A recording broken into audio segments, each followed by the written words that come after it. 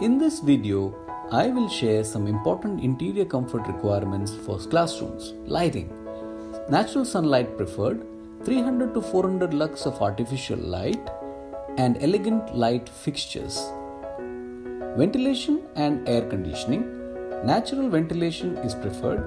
Required amount of fresh air and air changes. Clean and pollution free air.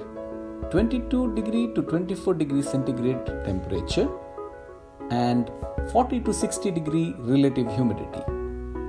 Acoustics and equipments, sufficient sound insulation,